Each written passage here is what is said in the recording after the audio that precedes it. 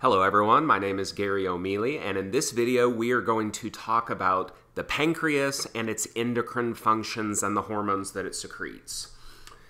So, the pancreas is kind of famous as an endocrine organ, but the reality is that it actually has both exocrine and endocrine functions. In fact, if you're actually considering the mass of the pancreas, about 99% of the mass of the pancreas is dedicated to its exocrine functions. And by exocrine functions, we're really talking about the production and secretion of digestive enzymes that will be secreted into the common bile duct to help with uh, digestion of foods and the emulsifications of fat that are moving through the GI tract. Now, of course, with the endocrine function, you probably are kind of aware of this already based on what we talked about in chapter 24.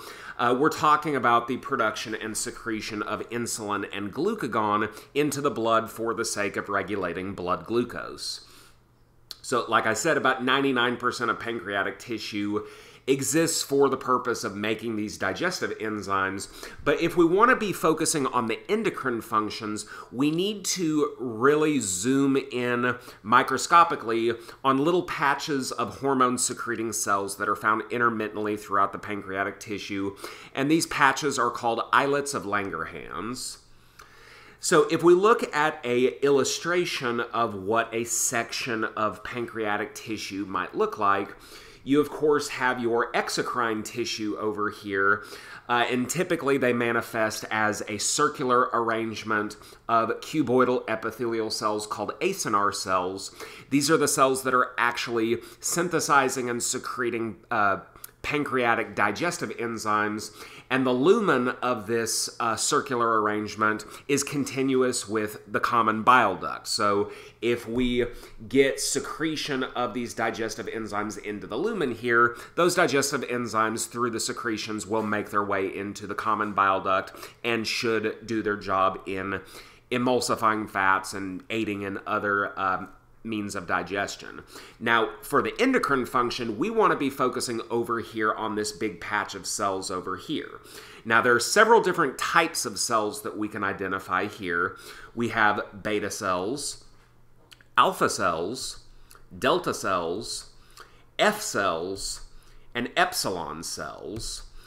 And then, of course, we can see through the cross section here, we can see cross sections of capillaries. Again, this has been the case, and we saw this with the thyroid and maybe a couple of other places. When you're looking at a cross section of tissue, especially endocrine tissue, you're going to see lots of intermittent blood vessels. And that should make sense not just because we're dealing with tissue that has pretty high energy requirements in terms of receiving nutrition and oxygen, but we also need a thoroughfare through which to send our hormone. Do not forget what makes a hormone a hormone. A hormone is a signaling molecule that travels through the blood. Therefore, if all these different cells here are going to be synthesizing and secreting hormones, we need the blood supply nearby to carry those hormones to where they need to go.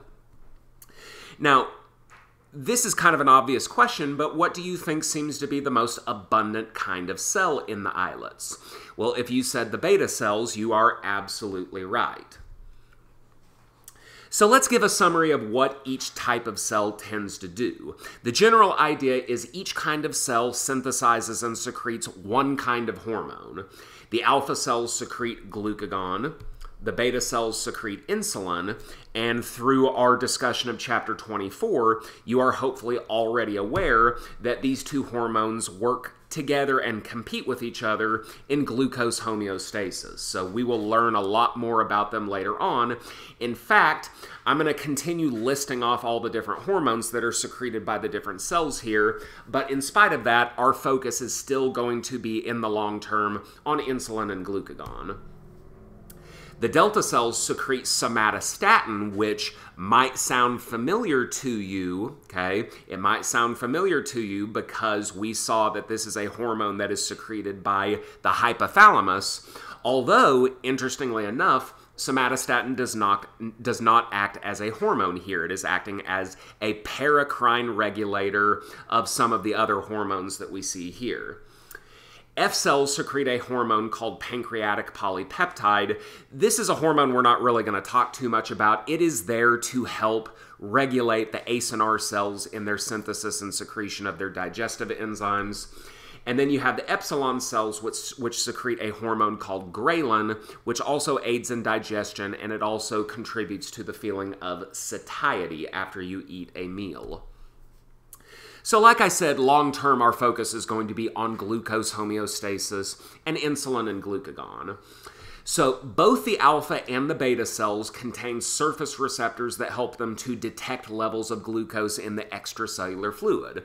So we've looked at examples earlier in the semester in glucose homeostasis back when we were getting practice with identifying what's the stimulus, what's the sensor, what's the control center, and so on. So we saw that in cases like that, the pancreas acts as both the sensor and the control center. So having these glucose receptors on their plasma membranes allows the alpha and beta cells to not only act as sensors for glucose, but their ability to then go on to produce either insulin or glucagon makes them control centers as well. So, insulin and glucagon are classical antagonistic hormones. Don't forget an earlier lecture we had on the types of hormonal interactions. Insulin is going to control blood glucose and cause it to come down.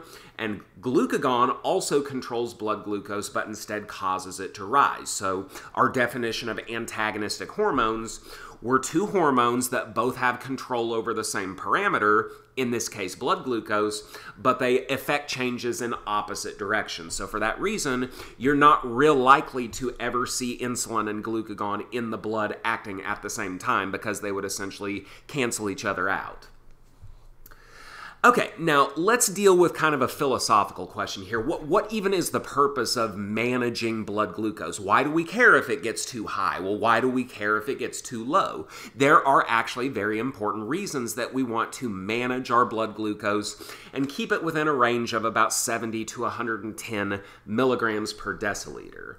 So, a little bit of a review here. Hopefully, you haven't forgotten what glucose is, but if you have, glucose is a monosaccharide and it is particularly important among sugars in that it is the most commonly used substrate for cellular respiration and the production of ATP by body cells. So, glucose is what gets the party started. Uh, through the glycolysis process, that of course produces uh, pyruvate, which then gets turned into acetyl CoA. Acetyl CoA gets fed into the citric acid cycle or the Krebs cycle if you prefer, and then eventually that will produce the NADH and the FADH2 that are the reducing equivalents for powering oxidative phosphorylation and the electron transport chain, and you end up producing a lot of ATP. So your focus should be on ATP production and the fact that glucose is the most common uh, fuel that we use to make lots and lots of ATP. But we also learned uh, back in chapter 3 and chapter 24, glucose is not the only usable fuel for cellular respiration. We, of course, can also use fatty acids. We can use proteins, even though we would prefer not to use proteins. So we also learned that fatty acids actually on a per molecule basis will produce a lot more ATP than glucose. So the question then becomes if we can get away with using fatty acids and proteins for energy, why are we going so far out of our way to maintain the serum concentration of glucose? Okay. Well, there's actually one very, very, very important reason we want to keep glucose at a certain level at all. So, of all the cells in your body, the cells of your brain are by far the pickiest in terms of what they'll what they will eat and what they won't eat when it comes to making ATP through cellular respiration. So the image we're kind of invoking here is that the brain is kind of like a baby or a toddler that's sitting in a high chair and doesn't want to eat vegetables, doesn't want to eat beans, it only wants to eat dinosaur nuggets and macaroni and cheese, okay? So the cells of the brain are extremely extremely picky. The cells of the brain really only want to use glucose for cellular respiration. You absolutely cannot get cells of the brain to feed on fatty acids. They will only feed on glucose. So, because cells of the brain only derive ATP for glucose, that's why we have to have a hormone driven mechanism to ensure there is always a sufficient and adequate amount of glucose in the blood because it's all for the sake of keeping the brain well nourished. It stands to reason if the brain isn't getting the energy it needs, you're going to have a whole lot of stuff fall apart if the brain is not working properly. So, hypoglycemia another fancy word for low blood glucose levels, that is absolutely toxic to brain tissue. Okay, so if we graph out what blood glucose levels might look like throughout the day for a person in a 24 hour period, it might look a little something like this. You're going to have periods where the blood glucose gets a little on the high side, kind of on the upper end of that normal range, and there will be times when it gets a little on the low side, but everything should be okay everything should be normal as long as we are staying within that normal range, right? We learned this in the very first lecture of the semester. So the point we're trying to get across here is that uh, you don't want to get too high and you don't want to get too low.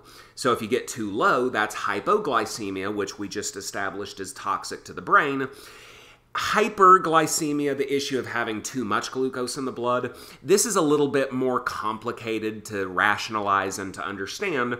But the idea is that hyperglycemia is toxic to other tissues like peripheral nerves, uh, the nerves of your fingers and your toes, blood vessels, and the retina. So the idea here is that a diabetic, whether they're type 1 or type 2, usually type 2, since those seem to be a lot more common these days. Uh, type 2 and type 1 diabetics are basically constantly in a state of hyperglycemia. So, this is why you hear of things like diabetic neuropathy, diabetic retinopathy. These things are very closely associated with having too much glucose in your blood.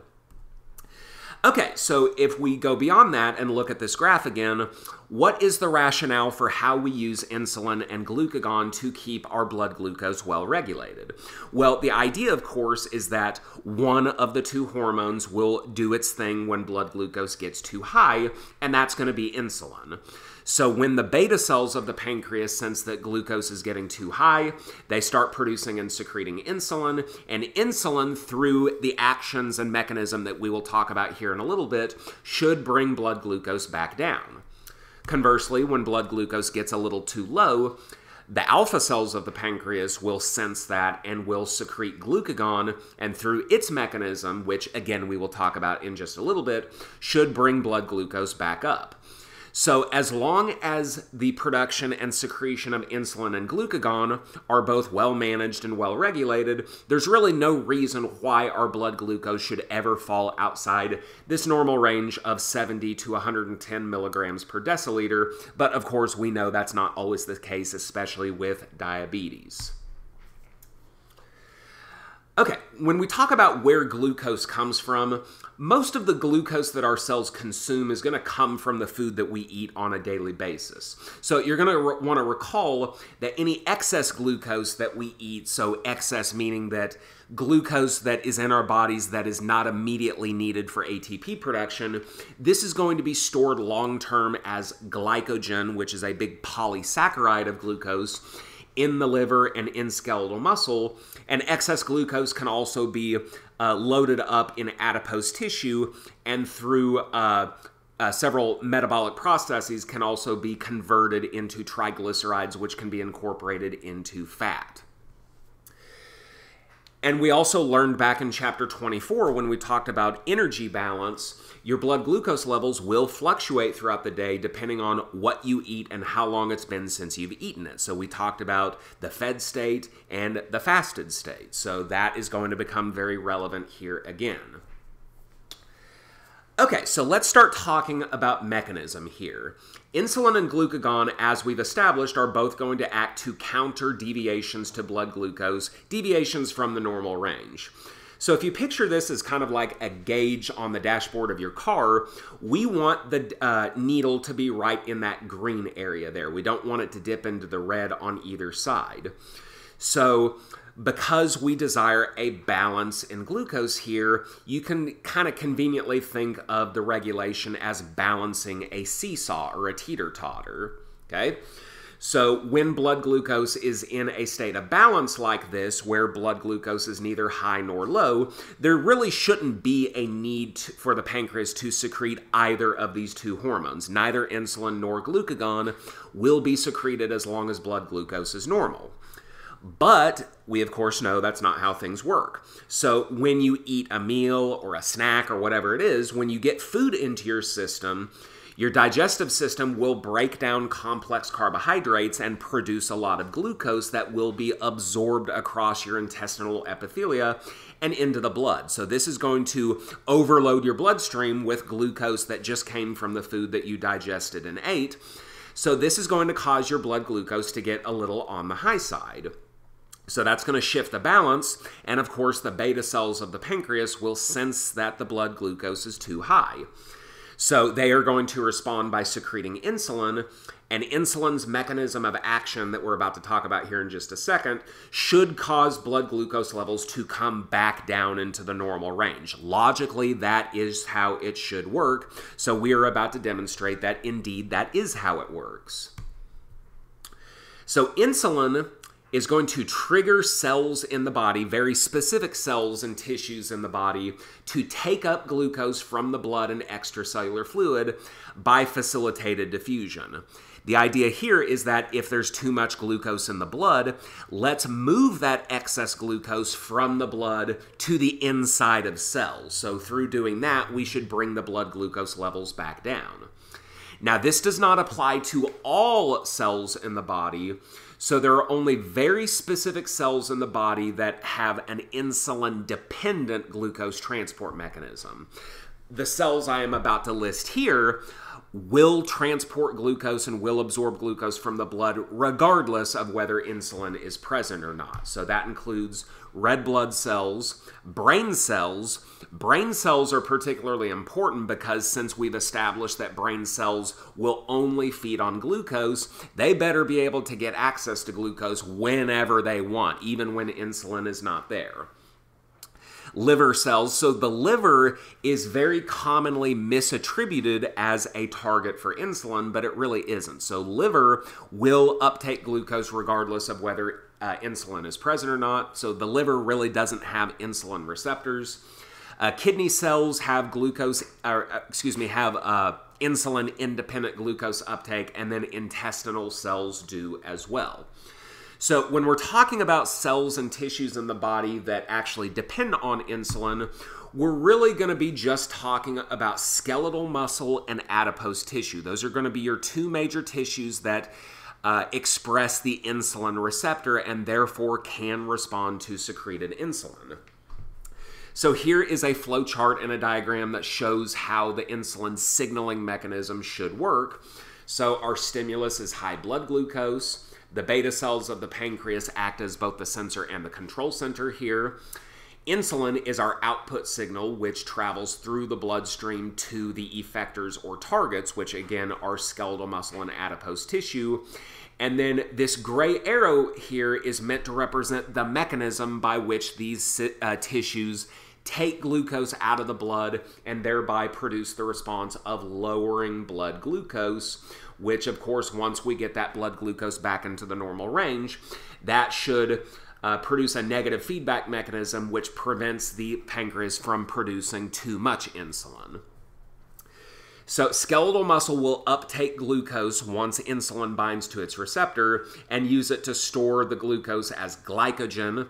Adipose tissue, when it gets stimulated with insulin, will take up glucose from the blood and store it as triglycerides and then as fat.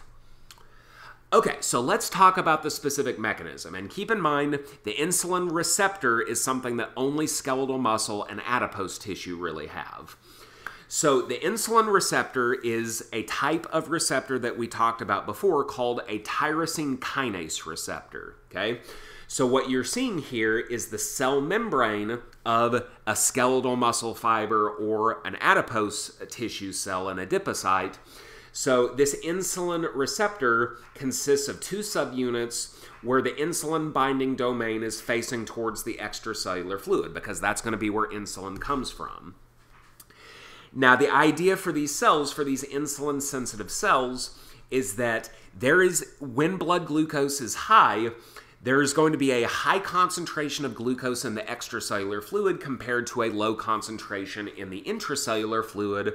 So there is a clear concentration gradient that glucose would like to follow, but because there is no available carrier for the very polar glucose molecule, glucose cannot diffuse through the membrane all by itself. So even though there is a glucose gradient, skeletal muscle and adipose tissue cannot take up glucose from the blood in the absence of insulin because there is no carrier available to let the glucose across. Okay, so if we take a peek further inside the cell, these insulin sensitive, insulin dependent cells actually do have glucose transporters, but in the absence of insulin, these transporters are stuck on the inside of the cell. These glucose transporters are called GLUT4. This is a glucose transporter, but its default location is not in the plasma membrane where it needs to be. Its default location is that it is stuck inside a transport vesicle, just kind of floating around inside the intracellular fluid. So, in the absence of insulin, and you can see that there is no insulin present here because we don't see it bound to the receptor, in the absence of insulin, we cannot absorb glucose because GLUT4 is stuck inside the cell. So let's take a look at how insulin will actually change this. So when this cell or this tissue gets stimulated with insulin that has just been delivered through the bloodstream from the pancreas, insulin will bind to the receptor. The receptor will dimerize and autophosphorylate itself so the receptor becomes activated. This is going to produce a phosphorylation cascade, so lots of proteins inside the cell are going to get phosphorylated, like we learned back in the uh, cell communication uh, unit. And through uh, a couple of different mechanisms and a couple of different signaling pathways that we're not going to get into here, this is going to cause that transport vesicle that contains GLUT4 to fuse with the plasma membrane. So if this vesicle fuses with the plasma membrane, that will insert the GLUT4 carrier into the plasma membrane, and now it is available to do its job. It can now let glucose move via facilitated diffusion from the extracellular fluid to the intracellular fluid. So, this transport of glucose from the blood, from the extracellular fluid to the inside of skeletal muscle or adipose tissue is only possible if insulin is present and insulin is activating those insulin receptors. We saw before that if insulin is not present, none of this is possible because this glucose transporter is not there. Okay, so our conclusion here is that pancreatic beta cells will secrete insulin when they sense that blood glucose is too high. So, as insulin causes its targets to uptake glucose from the blood, glucose levels will go back to normal. So, here, even though we're in the fed state and our blood glucose was momentarily a little bit high because of the food that we just digested and absorbed, insulin acts as a counterbalance to make sure that we keep our blood glucose nice and well balanced and well regulated. And uh, then, of course, through the negative feedback mechanism, insulin production will stop when we get near the set point again and back into the normal range. So remember, this is a type of signaling pathway called a simple endocrine reflex. Okay, so let's look at the opposite scenario. When it has been a long time since you've eaten, we call that the fasted state, right? So, in those cases, glucose in your bloodstream will become depleted due to the constant uptake of glucose by the brain and by other cells that tend to prefer glucose for their cellular respiration activities. So, this is going to cause blood glucose to get a little bit on the low side. So, here you're going to be float, uh, flirting with hypoglycemia. This is again going to shift the balance, except in the opposite direction. And this time it's going to be the alpha cells that are going to sense that blood glucose is too low. So what we want to happen here is glucagon will be secreted. So it has to be glucagon. It wouldn't do us any good to secrete insulin here because insulin only lowers your blood glucose, and we definitely don't want to make our problem worse here. So glucagon will be secreted, and through its mechanism of action, this will cause blood glucose levels to come back up into the normal range. So what we're going to see here, although we're not really going to dive too much into the specific details of it, glucagon's mechanism is more or less the opposite of insulin's. So if insulin's mechanism was focused on absorbing glucose from the blood, glucagon's is going to focus on exporting glucose from tissues back into the blood. So cells and tissues that store glucose as glycogen or store fat, they will be induced to uh, metabolize glycogen or metabolize fat to produce glucose and then export and release that glucose back into the blood, thereby bringing your levels back up. So our major targets here are going to be the same as last time, skeletal muscle and adipose tissue, except this time the liver is also a target. So the liver actually does have glucagon receptors, so we can actually stimulate the release of glucose from all the glycogen that is stored up in the liver. Okay, so the signaling mechanism here, as far as homeostasis goes, is going to look pretty familiar. Our stimulus is low blood glucose. The alpha cells act as the sensor and the control center. Glucagon is our output signal released into the bloodstream, and it travels to our three target tissues through the bloodstream. And through that mechanism, mechanism of action that we'll talk about on the next slide, we will replenish glucose into the blood, bring it back up, and then that should shut everything else down by negative feedback. So, again, liver and skeletal muscle will store glucose up long term as glycogen, so they, through the mechanism of glucagon, will be induced to break down their glycogen into individual glucose molecules and then export their glucose back into the extracellular fluid and into the bloodstream. Adipose tissue will be metabolically induced to convert stored fat back into glucose through the gluconeogenesis process.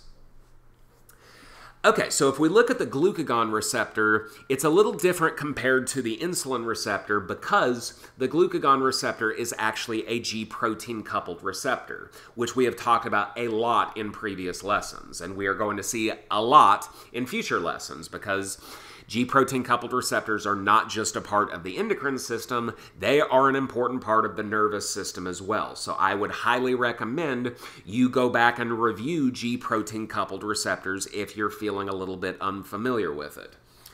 So here, without glucagon present, this receptor is inactive because you can see all three subunits of the G protein are held together.